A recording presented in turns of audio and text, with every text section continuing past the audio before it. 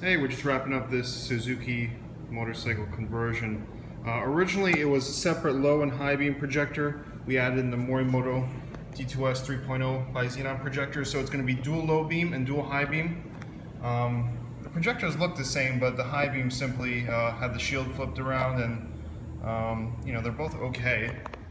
So you guys can see the original setup is up top. That's a halogen 9006 bulb, and the new setup is on the bottom. It's dual Bixenon projectors, um, D2S bulbs, 35 watt ballast. So you can see how tremendous of a difference that is. Uh, this motorcycle is definitely not going to have any trouble seeing the road when we're all done here. But if you guys have any questions, you can let us know. It's info at lightwerkz.net.